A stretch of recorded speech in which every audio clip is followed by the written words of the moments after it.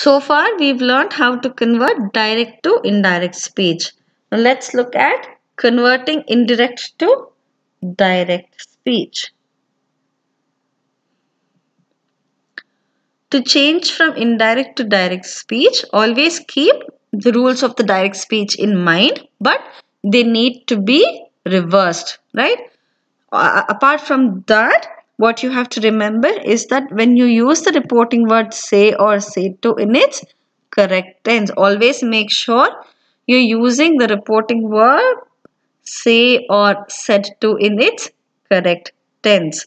Remove conjunctions that to if or whether etc when you're changing the statement from its indirect tense to its direct tense, direct speech.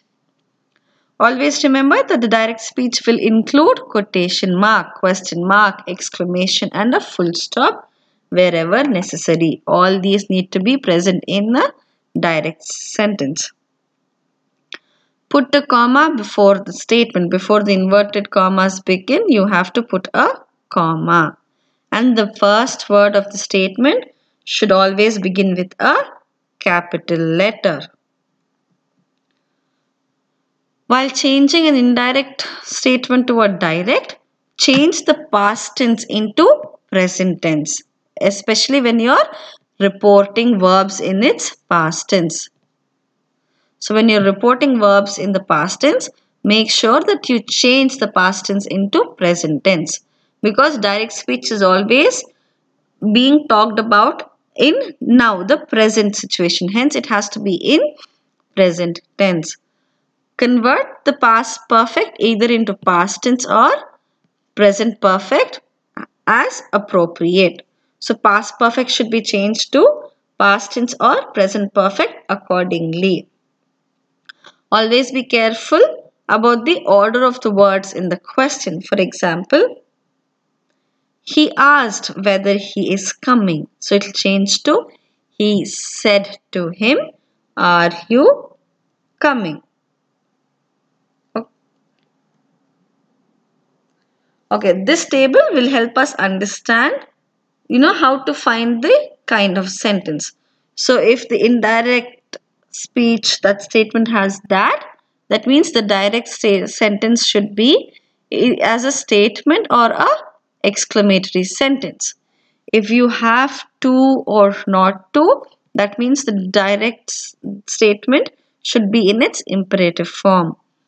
If it's a request and has to, it should begin with the imperative statements, especially the word please. If the indirect speech statement is uh, contains either if or whether, that means it is a interrogative sentence. You should have a helping verb, a subject and a main verb followed by the sentence. If these are all interrogative questions, right, in indirect form, to make it into direct form, you'd use the appropriate questionable word, the WH question or the how question, followed by a helping verb, a subject and a main verb. So these are the rules that you need to keep in mind to convert indirect to direct speech. So the most important thing for you to remember is the rules to convert direct to indirect. If you remember them, apply them in their reverse order to convert indirect speech to direct speech. Let's look at the following statements and try and understand which of them are correct or not. So the first statement is this and among the next uh, following two statements try and analyze which is the correct one and which is the incorrect one.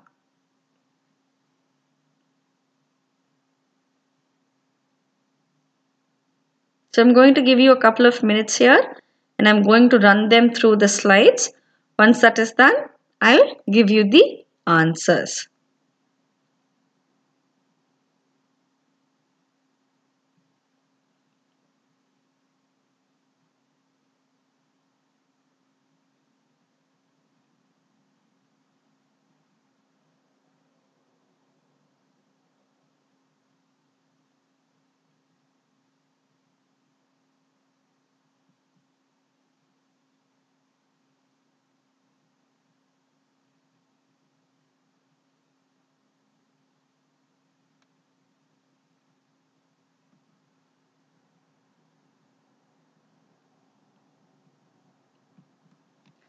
Let's look at the statements. The first statement says, the boy said, I'm happy with my results.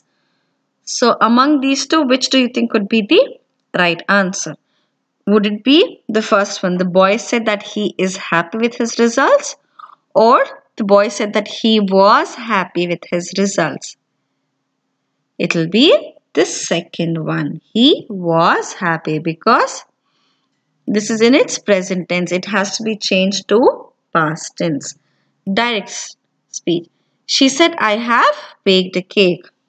She said that she baked a cake or she said that she had baked a cake. It will be the second one.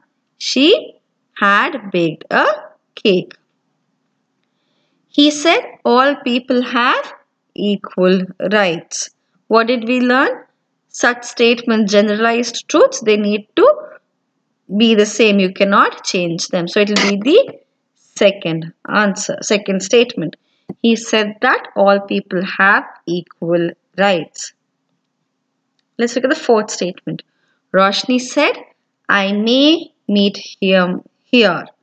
So what will this become? Uh, may will become might. So the answer is Roshni said that she might meet him here.